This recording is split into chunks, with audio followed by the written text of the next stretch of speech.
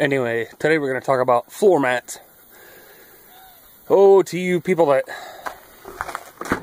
may be more inclined to be, I don't know, city people, or you don't take your pickups off the road very much.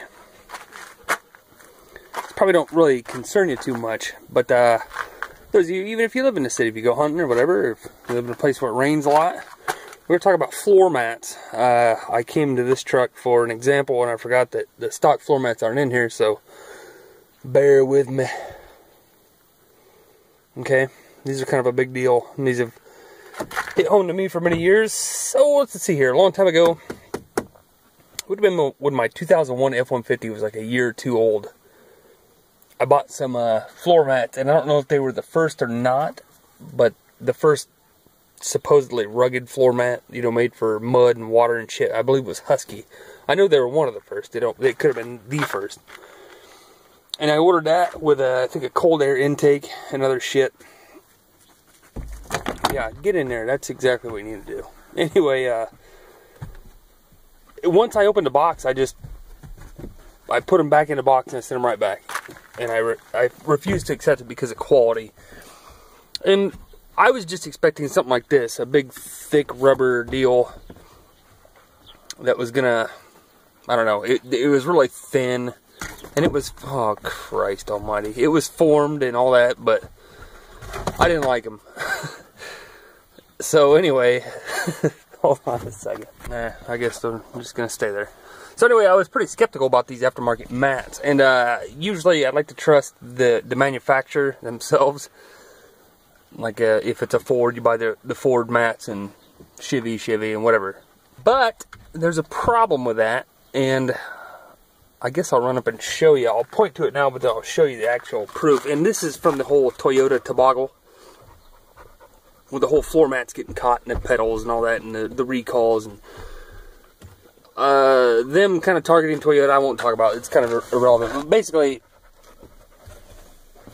the mats now that the factory makes won't be anywhere near the fucking pedals, which doesn't make any sense because that's where your feet do the most work, unless you you know travel on the highway a lot and you're using cruise control. But if you see a lot of dirt roads, muddy roads, that obviously you're not using cruise control, but they're covering their own ass, and it that's one thing, but the products are suffering. So I tried to go another route. I can't even remember where I saw the WeatherTech deal.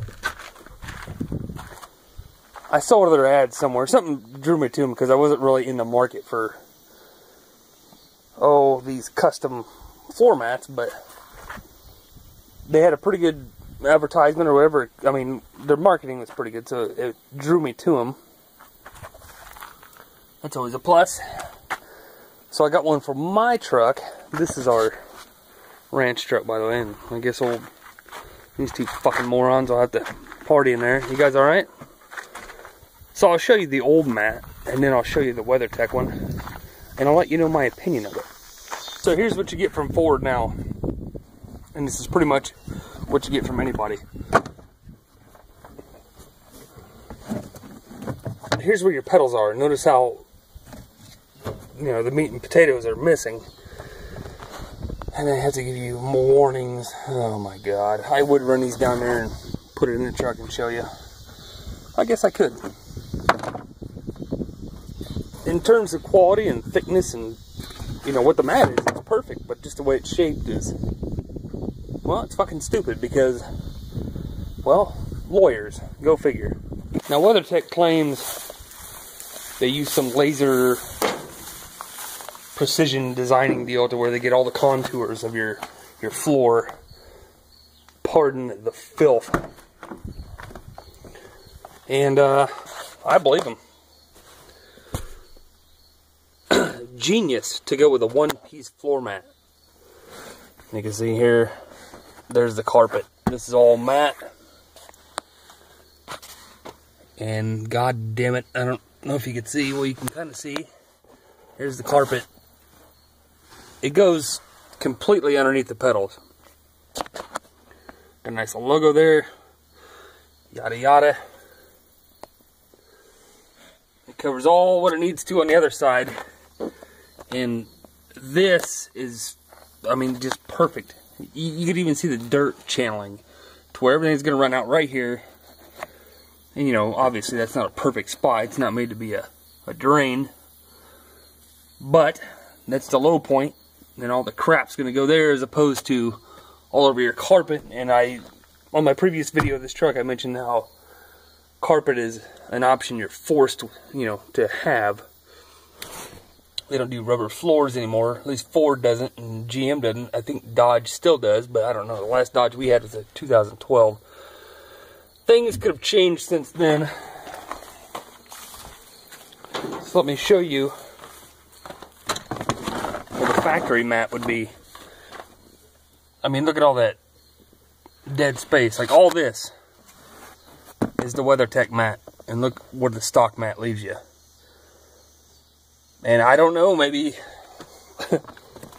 I'm guessing that uh, the way litigation works in this country nowadays is WeatherTech ain't quite the gravy train as a Ford or a GM or a Toyota would be to sue the shit out of. So they don't give a shit. And it is thin, or thinner than that, but this is if I recall, it's been a many a moon and many a beer ago. That Husky stuff, if I remember, it was it was thin, but it was like really rigid. This is it's softer. It conforms to all the curves. I mean everything. This thing is fucking perfect. I was very surprised by their advertisements. I thought, oh, it's going to be better than a Husky, but I also thought the Husky is going to be damn good too. And I don't know how Husky is nowadays. Maybe they've upped their game. Maybe they're even not in business anymore. Don't care. But this thing, it was about 100, I think around $140 shipped. Extremely impressed with it. I mean, it fits absolutely perfect. And whatever their little gimmick is about being laser fitted seems to work. Even this this deal right here, and god damn it, pardon me, the lighting is pretty bad, but it even fits right around that. I mean, just absolutely perfect. So, if you need a mat, and they make back ones too, I have no use for a back one. With the extended cab, I don't expect too many passengers, and I'm using the one out of my 2010, the Ford one. I figured it's a little attract traffic I have, but I've seen pictures of their their back ones, and of course crew cabs are the most popular thing now. They seem to be just as good, and of course they'd be a lot easier to fit because it's flat back there, but they fit around the, the front seats and all that.